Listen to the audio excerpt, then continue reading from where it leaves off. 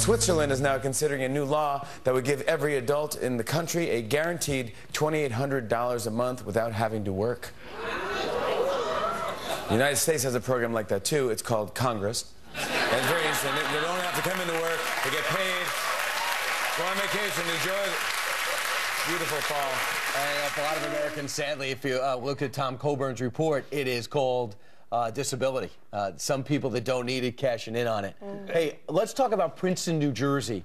When it comes to grassroots kids sports, they have taken action that's somewhat surprising, forward leaning, or maybe is, makes you feel as though we're being too overprotective with our kids when it comes to sports. For 6th to 12th graders, something's going to be different if you play field hockey, soccer, or lacrosse. Right, they're actually making mandatory for the younger set of kids, right? They're making mandatory number. the um, helmets, okay? So they're, they're going to tell kids, and here's an example of it, um, padded on the sides with the gates in the front. It's um, soft. Um, apparently to reduce injuries. Some physicians, though, think that the headgear is more for reducing abrasions and lacerations, not necessarily protecting against concussions, although girls soccer in high school, I think, is the second highest rate of concussions nationally, right?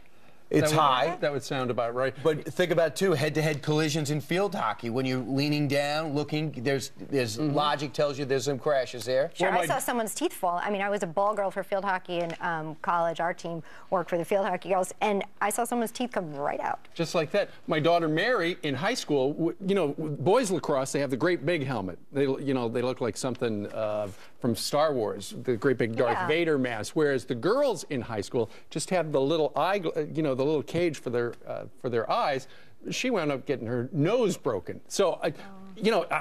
as long as everybody's wearing the helmet, that would, would be one thing. But like Brian said, uh, from sixth grade up, the parents can opt out. If you don't want your kid running down the field with that, uh, the parents say, I don't want that. So amazingly, uh, or, or not surprisingly, uh, most parents are saying, I don't want my kid wearing that helmet on the field. Which well, there's, odd, a psycho right? there's a psychological thing to it, too. If you're wearing a helmet, you feel you're Superman, and mm -hmm. maybe mm-hmm. you're going to take more chances, more risks. Here's the thing. If you look at Wayne Rooney, one of the best players in all the world in soccer, he might be single-handedly trying to make this whole thing, uh, protective uh, headwear, cool.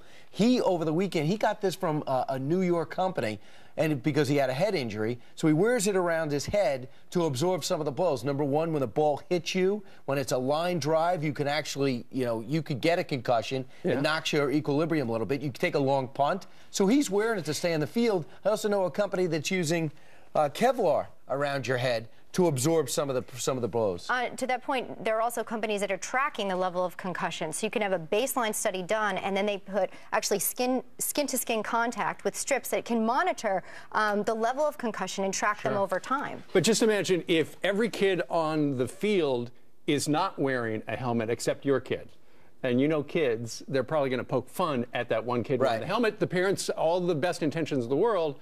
So anyway, it, it's odd that they would have this opt-in, opt-out thing. What do you think? Do you think it is appropriate for uh, kids to now have to wear helmets in soccer, or should we just go Field ahead? Hockey. Field yeah. hockey, lacrosse. And lacrosse as well. Or, you know, is this just another step leading toward the eventual thing where we just bubble wrap the kids when we send them off Or should we just let kids play video games and just let them not interact Fantastic at all? Fantastic idea. Yeah. Or just watch TV. Like right now, you're watching TV. Now you're watching Heather Nauert because she's got the headlines. All right. Good morning to you.